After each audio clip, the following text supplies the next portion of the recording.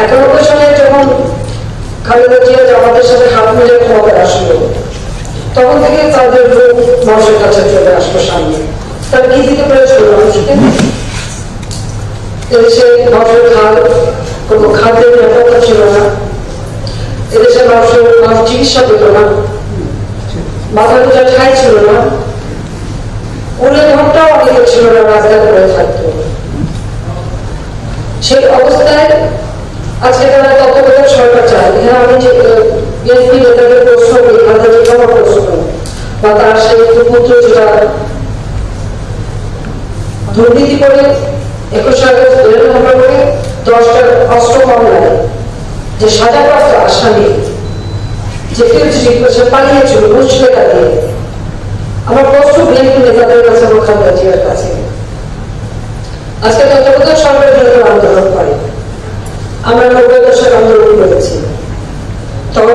প্রধান বিচারপতি সামাজিক আমরা অস্থায়ী রাষ্ট্রপতি করে তত্ত্বাবধায়ক সরকার করে তাদের নির্বাচন করেছিলাম রাষ্ট্রপতি সামাজিক সাহেব কিন্তু আমাকে ডেকেছিলেন সরকার গঠন করার জন্য। কারণ সেই নির্বাচনে কেউ মেজরিটি পায়নি। জামাত এবং জাতীয় পার্টি, তারা সমর্থন দিতে চেয়েছিল।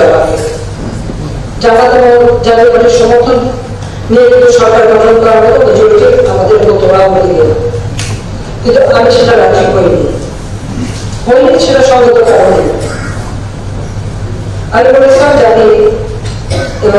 গঠন করব কারণ আমি যে জনগণের কাজ চাই এভাবে কাজ করতে পারব না।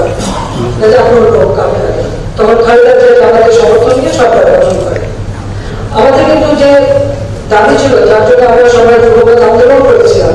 সেটা আমাদের পার্লামেন্টারি সিস্টেম অফ ডেমোক্রেসি অর্থাৎ সংসদীয় গণতন্ত্র আর একটা ধারা ছিল। কিন্তু দেখতে ক্ষমতা সে কিন্তু সেটা ভুলে গিয়েছে এটা আপনাদের মনে রাখা উচিত। তারা কিন্তু আনতে চায় তখন আমরা তাদের বিরোধী দল থেকে আমাদের আমার সমাজ সাহেবকে দিয়ে আমরা একটা দিন উপস্থাপন করি প্রতিষ্ঠার জন্য। তখন করছিল সে সময় সাধারণ তাদেরকে ধমক দেয় যে, তোমরা যদি এই না তাহলে আমি নির্বাচন যে অবাধ নির্বাচন সরকার এই ব্যবস্থাটা রাখা হবে খালেদা জিয়া তখন করে নাই। খালেদা জিয়া তখন রাখে নাই। তো কি জবাব দেবে? বিএনপি এখন আন্দোলন যে করবে তাহলে কি অধিকার আছে বলার তাদের হাতে সব সুযোগ ছিল তখন তারা পারেনি আমরা তো সংসদ দিতে চেয়েছিলাম তা আমরা এটা নিয়ে কথা বলেছি তারপরেও যেহেতু সংসদীয় গণতন্ত্র হবে ভোট দিয়ে সংবিধান সংশোধন করার মতো প্রতিভাবে মেজরিটি বিএনপি জামাত না আওয়ামী লীগের ভোট ছাড়া তারা ওইগুলি সংশোধন করতে পারত না যেহেতু বিচারপতি সাবজীব সাহেব প্রধান বিচারপতি থেকেই দায়িত্ব নিয়েছেন তাকেও বলেছেন যে এই দায়িত্বপ্রাপ্ত এই সময়টা আমরা তাকে আমরা পরিচিত দেবো। তার জন্য একটা সংশোধন আনার দরকার ছিল। তা আমরা কিন্তু আমরা কিন্তু ভোট দিয়ে তখন এই বিলটা আনে এবং বাংলাদেশের সংসদীয় গণতন্ত্র প্রবর্তন করা হয়। কারণ মেজর ডিক্টেটররা গণতন্ত্র দিতে জানে না।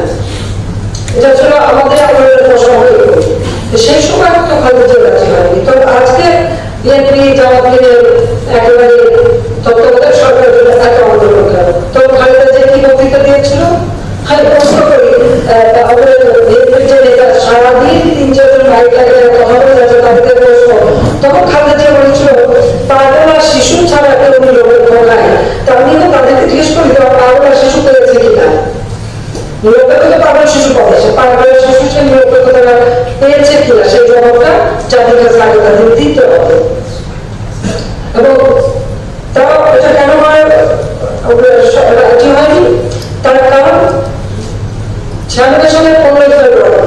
একটা ভোটার তিনি নির্বাচন তারা করেন অর্থাৎ সেখানে কোনো দল অংশগ্রহণ করেন তাই সঙ্গে জামাত ছাড়া। জামাতে দল ছিল না? তোর সাথে কেউ ছিল না। সেখানে কোনো দুই পার্সেন্ট ভোটও করে না। এটা সকল মনে রাখা উচিত সে ভোট নিজেরা চুরি করে, তারা শুধু নির্বাচন না, জাতির পিতা বঙ্গবন্ধু শেখ মুজিবের হত্যাকারী। তাদেরকে পর্যন্ত মদত দিয়েছেন আপনি